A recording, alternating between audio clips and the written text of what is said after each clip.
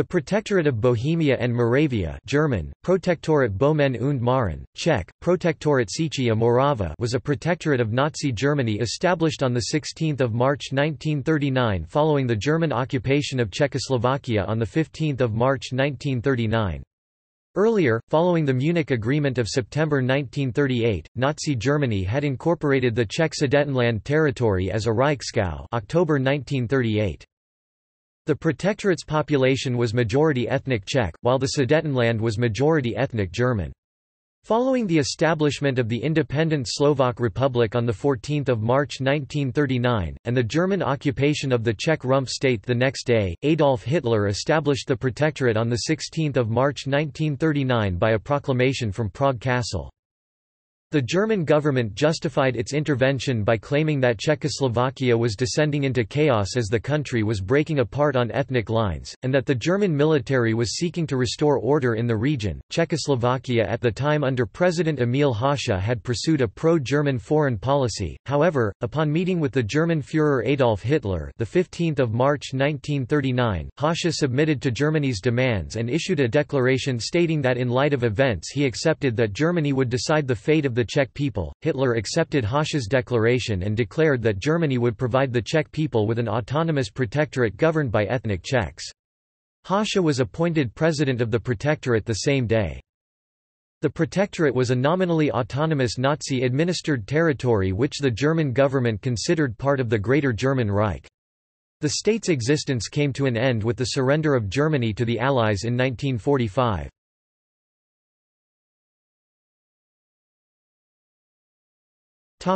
History On 10 October 1938, when Czechoslovakia was forced to accept the terms of the Munich Agreement, Germany incorporated the Sudetenland, on the Czechoslovak border with Germany and Austria proper, with its majority of ethnic German inhabitants, directly into the Reich. Five months later, when the Slovak Diet declared the independence of Slovakia, Hitler summoned Czechoslovak President Emil Hácha to Berlin and intimidated him into accepting the German occupation of the Czech Rump state and its reorganization as a German protectorate. Hácha remained as technical head of state with the title of state president, but Germany rendered him all but powerless, vesting real power in the Reichsprotektor, who served as Hitler's personal representative. To appease outraged international opinion, Hitler appointed former Foreign Minister Konstantin von Neurath to the post. German officials manned departments analogous to cabinet ministries, and small German control offices were established locally. The SS assumed police authority. Reichsfuhrer SS and Reich Police Chief Heinrich Himmler named the former Sudeten German leader Karl Hermann Frank as the Protectorate's police chief and ranking SS officer. The new authorities dismissed Jews from the civil service and placed them outside of the legal system. Political parties and trade unions were banned, and the press and radio were subjected to harsh censorship. Many local Communist Party leaders fled to the Soviet Union.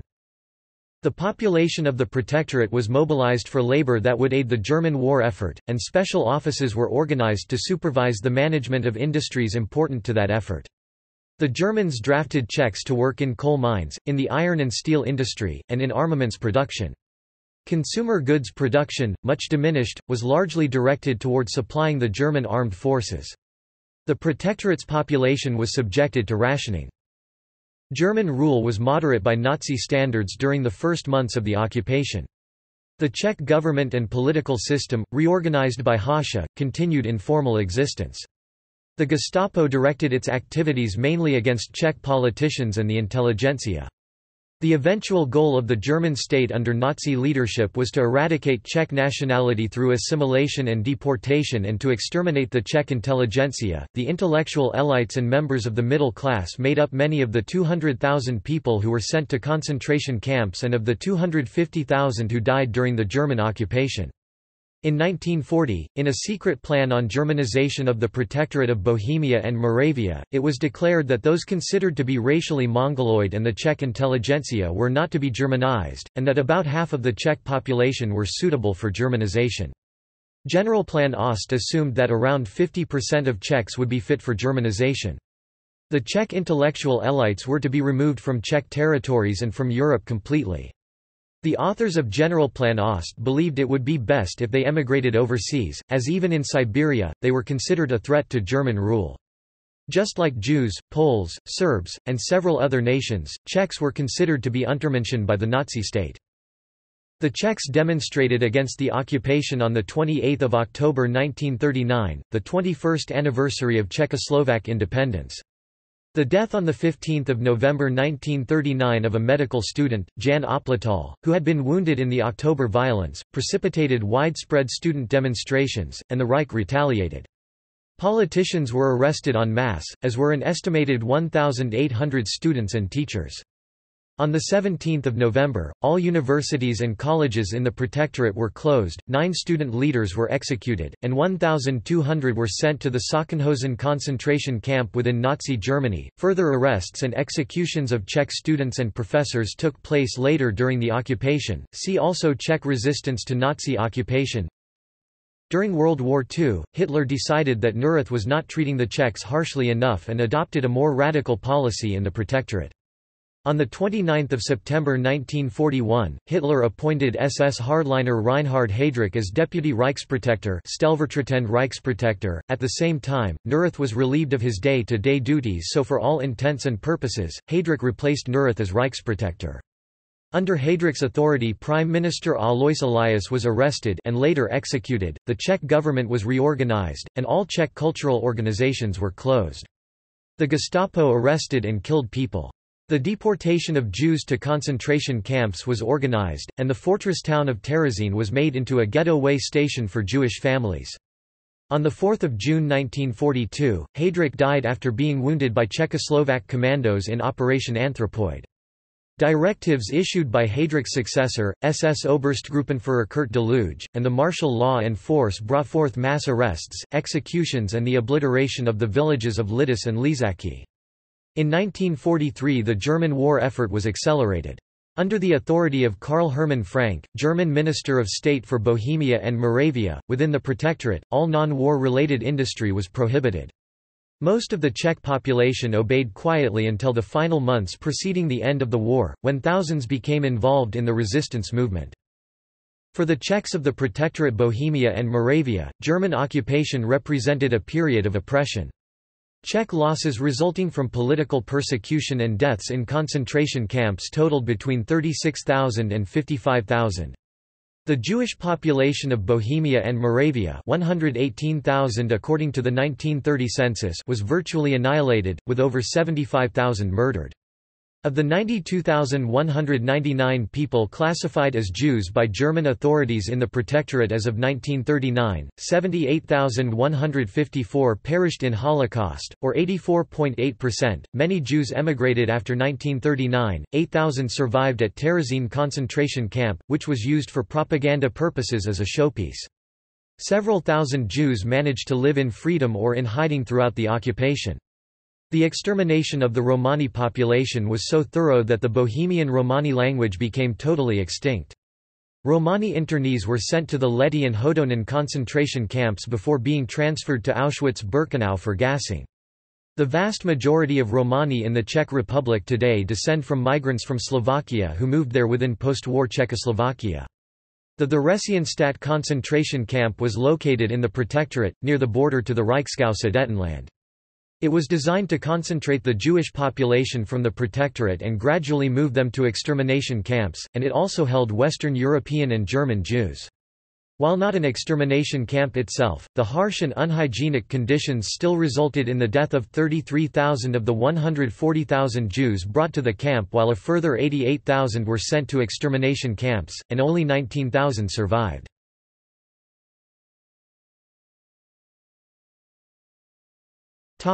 Politics After the establishment of the Protectorate all political parties were outlawed, with the exception of the National Partnership This local Czech fascist party was led by a ruling presidium until 1942, after which a vůdce leader for the party was appointed.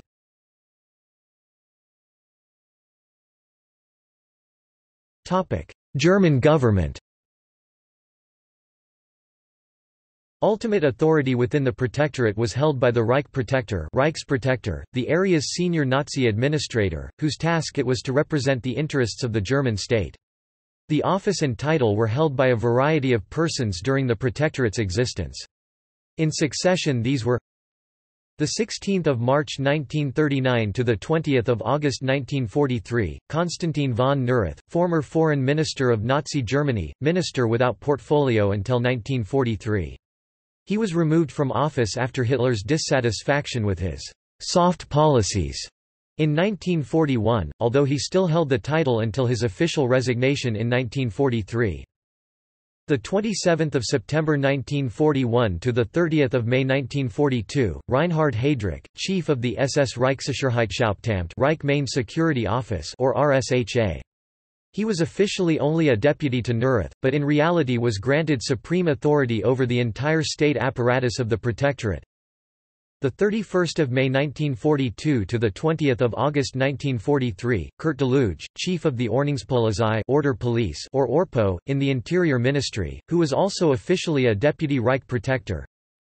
The 20th of August 1943 to the 5th of May 1945, Wilhelm Frick, former Minister of the Interior.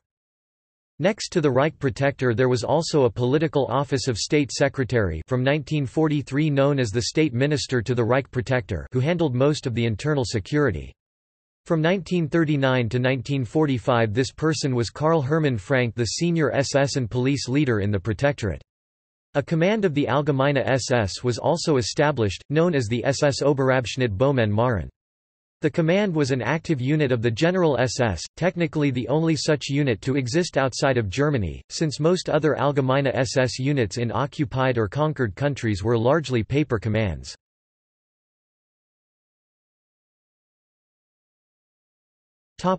Czech government The Czech state president, president under the period of German rule from 1939 to 1945 was Emil Hácha (1872–1945), who had been the president of the Second Czechoslovak Republic since November 1938. Rudolf Beran (1887–1954) continued to hold the office of minister-president after the German takeover. He was replaced by Alois Elias on 27 April 1939, who was himself also sacked on 2 October 1941 not long after the appointment of Reinhard Heydrich as the new Reich Protector. Because of his contacts with the Czechoslovak government in exile Elias was sentenced to death, and the execution was carried out on 19 June 1942 shortly after Heydrich's own death. From 19 January 1942 the government was led by Jaroslav Krejčí, and from January to May 1945 by Richard Bienert, the former police chief of Prague. When the dissolution of the Protectorate was proclaimed after the liberation of Prague, a radio call was issued for Bienert's arrest. This resulted in his conviction to a three-year prison term in 1947, during which he died in 1949. Aside from the office of the minister-president, the local Czech government in the protectorate consisted of the ministries of education, finance, justice, trade, the interior, agriculture, and public labor. The area's foreign policy and military defense were under the exclusive control of the German government. The former foreign minister of Czechoslovakia František Chvalkovský became a minister without portfolio and permanent representative of the Czech administration in Berlin. The most prominent Czech politicians in the Protectorate included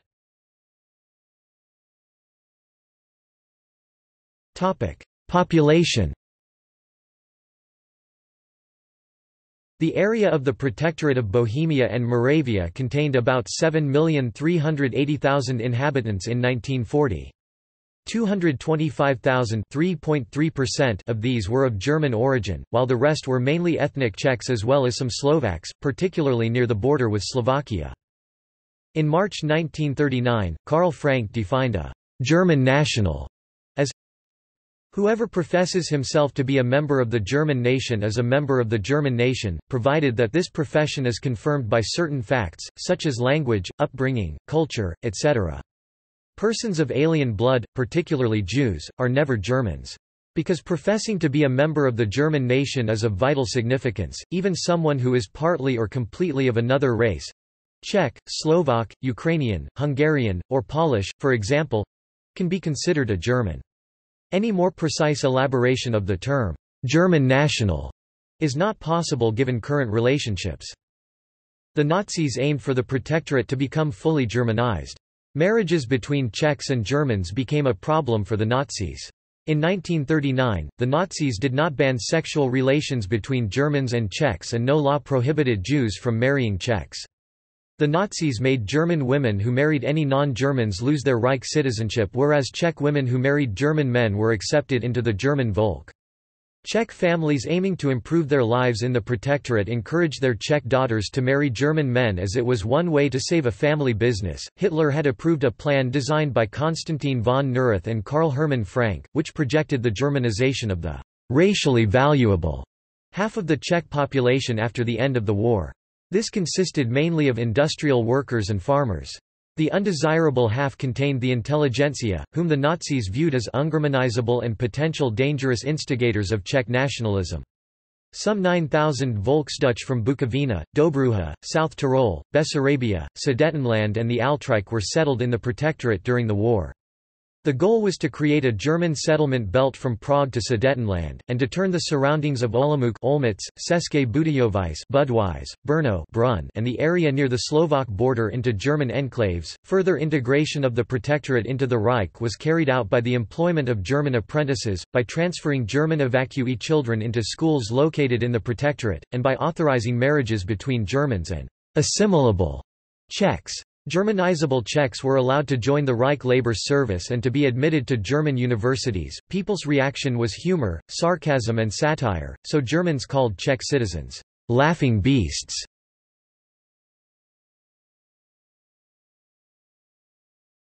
Topic: Administrative subdivisions.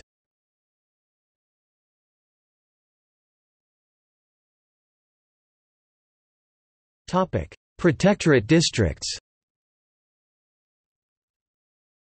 For administrative purposes the Protectorate of Bohemia and Moravia was divided into two Länder, Böhmen Bohemia and Mähren Moravia. Each of these was further subdivided into Oberlandratsbezirk, each comprising a number of bezirk.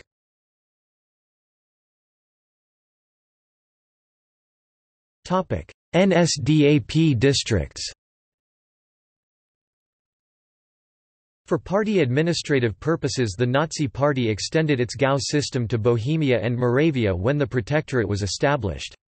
This step divided the remaining parts of Bohemia and Moravia up between its four surrounding Gau Sudetenland Bayreuth Bavarian Eastern March Lower Danube Upper Danube, the resulting government overlap led to the usual authority conflicts typical of the Third Reich era. Seeking to extend their own power base and to facilitate the area's Germanization the Gauleiters of the surrounding districts continually agitated for the liquidation of the Protectorate and its direct incorporation into the German Reich. Hitler stated as late as 1943 that the issue was still to be decisively settled.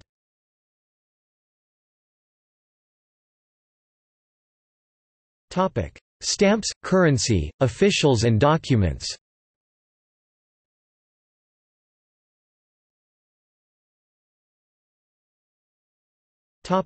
See also. List of rulers of the Protectorate Bohemia and Moravia. Government Army. German occupation of Czechoslovakia. Prague Offensive. Res History of Slovakia. Concentration camps Lety and Hodonín Outdistance. Slovak Republic 1939 to 1945 equals equals notes